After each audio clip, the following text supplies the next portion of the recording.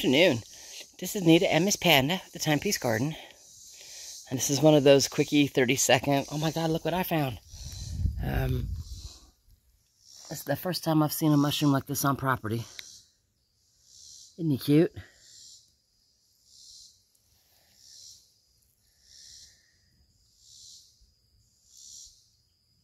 Anyway, you know, I will go in and, and look at my class notes, etc., and see if I can identify him. And then talk to the guys, see if I'm right, you know. So, anyway, he's cute. Thought I'd share. Talk to you later. So I just turned the water on, and Panda will stand there in the sprinkler until she should decide she's had enough water. And then I can go ahead and water the front garden. Um, uh, with this water, I had to actually figure out a way so it wasn't on the ground because she would knock it over and then I couldn't get anything watered. So it's actually going to have a piece of um, rebar pounded into the ground with PVC pipe on the rebar and then the sprinkler instead of in the ground in the PVC pipe. Um, so she's learned she can't knock it over, but she can just stand there and let it hose her down until she decides she's wet enough to do whatever it is she wants to do. And then, and then the garden gets watered.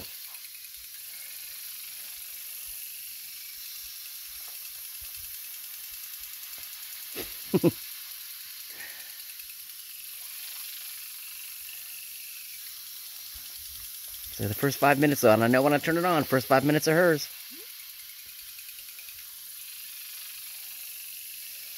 Then when she leaves, I will actually go see make sure that it's going to go, you know, left and right in the appropriate direction, that she's not knocked that off. You know.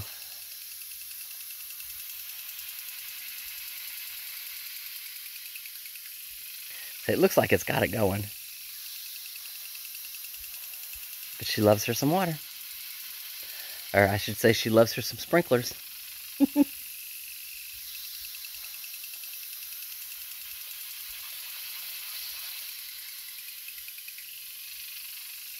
And she's done. All right. Tail's happy wagging away. I'll talk to y'all later.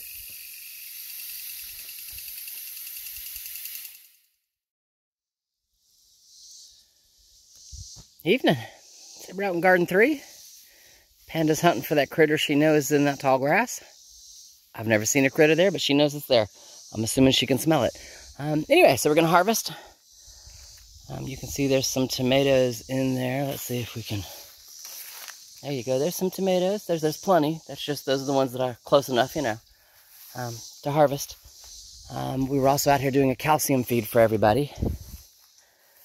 Um, and I figure if I'm feeding the gourds because it's got a calcium deficiency, then I'm everybody's got calcium deficiencies. So everybody got a calcium supplement today. Um, and then I've got the water going.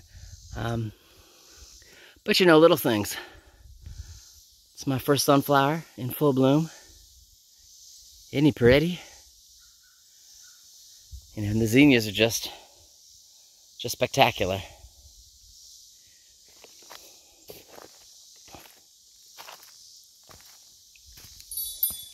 You know? Just gorgeous blooms. Doesn't matter if it's the deep pinks or the light pinks or you know, starburst orange. Just spectacular. I will say calcium deficiency has killed me. My uh, birdhouse gourd that was here, roughly, in this area. Um, there he is. Uh, hey, focus.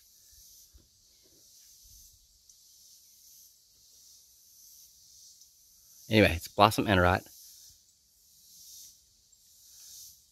Um, so I've lost the birdhouse gourd. Which is just craziness. Um, so far I still have that basket gourd. You know, and I'm hoping at the, uh, off of the instructions I can come out here and calcium feed every five days. So, pretty much until further notice, I will come out here and calcium feed every five days. Um, not to exceed eight weeks, basically, is what it says. Because um, if I don't, I'm not going to get any gourds. I know you can see I got, I got leaves falling off and dying. Um, you know, there's a whole series of blooms that are just, just dead. And again, that's, all, it's all calcium deficiencies. So, we'll see. There's a couple of new blooms on it. You know, there's one there. There's there's another one there, and we'll just we'll have to see if the adding the extra calcium in liquid form and then coming out here with some bone meal um, for long term gets me some uh, gets me some gourds, and hopefully they'll do something before um, how do I say it before it gets too cold. Otherwise, I will just try again next year. Just not in the same spot. So I did go ahead and give my crookneck squash here some calcium, although, you know, between the bores, I think I've lost them. But I do want to say, thought that was kind of interesting. The, um, if you look right there, I'm going to zoom in, there you go. It's a snake skin. Somebody came in here and peeled. See, it starts over there and it... Hey, I've lost him. That's the hose. There he is. Starts over there. Kind of ends over here behind those leaves. So that was kind of interesting. But then, you know, I know snakes are out here. I tend to see black snakes most often. Um, black snakes eat copperheads, so I don't mind them being here. All right, I will talk to you in a few. evening again. Yep, I'm in garden two. All right, what'd we do? We picked a couple of cucumbers, a couple of my jalapeno peppers. Let's see, that one back there's just, I don't know. I think I'm gonna leave him for another day. Maybe two, I don't know. Um, just like him. Just a day or two. Let him swell up, plump up a little more. That way he's great for stuffing. Um, but anyway, I'm over here and everybody got calcium too. Um, now this is my third year garden, and because I've worked with it and worked with it, you can look at the squash here, um, and you can see that one. That's a baby butternut squash. Just like that one over there is a large butternut squash. I don't have blossom end rot over here. You know, I've got two really good healthy squash vines over here. Um, and that's pretty much for everything you know. Um, even my uh, self-seeded turnip here, you know, besides a little worm damage, they're doing awesome. So, but what I figure is if I've got a calcium deficiency going on in garden number one, or it's garden three, but it's a first year garden, then I should go ahead and just boost up the calcium over here. So I did the same thing. Um, it's a liquid calcium. I think, I don't know if I showed you a picture of it. Um, if not, it's Rot-Stop. Um, and it's a, it's a concentrate, and you mix it in with water, um, and then you water with it type thing. Um, and that way they get a, a, quick boost of calcium, you know, right at root level.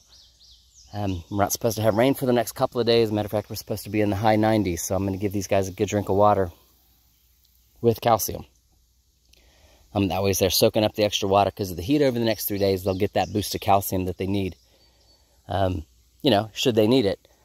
Um, yeah, that's what we're doing.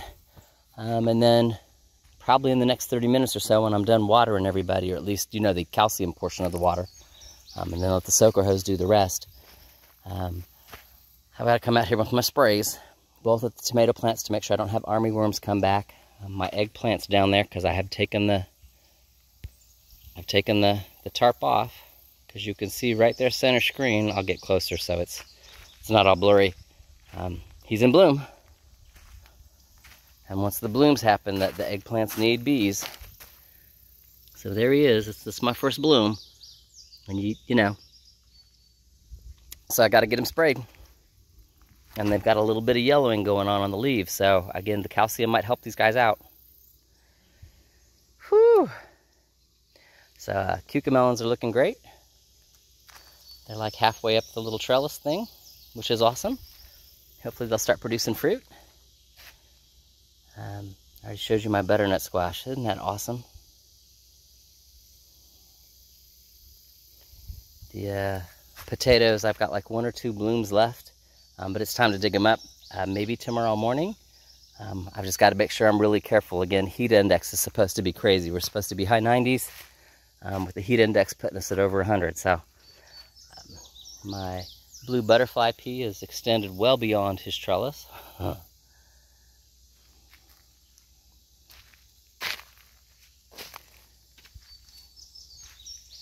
You know, strawberries are still just doing what they do for, you know, non-fruiting season.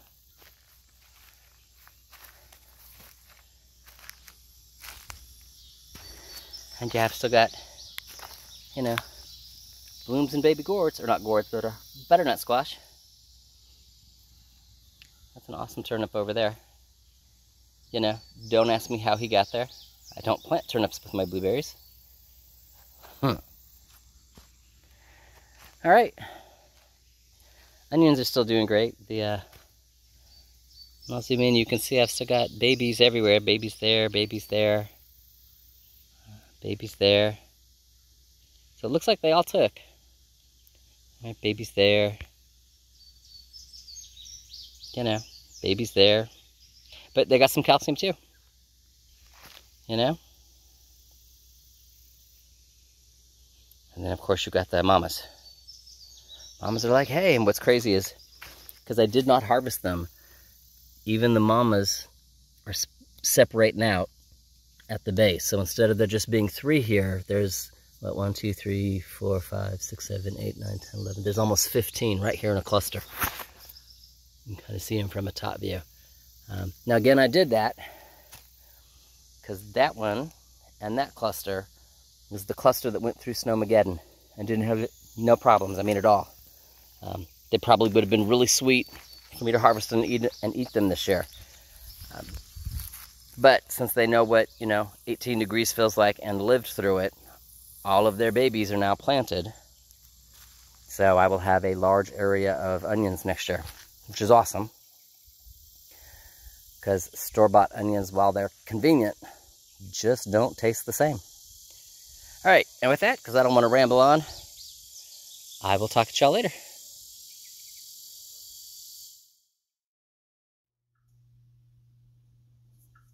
So just the little harvest from today.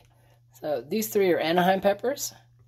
Um, these are nice and fat. Just, oh my God, I can't wait to stuff them. Um, cucumber for today. It's my notapino for today.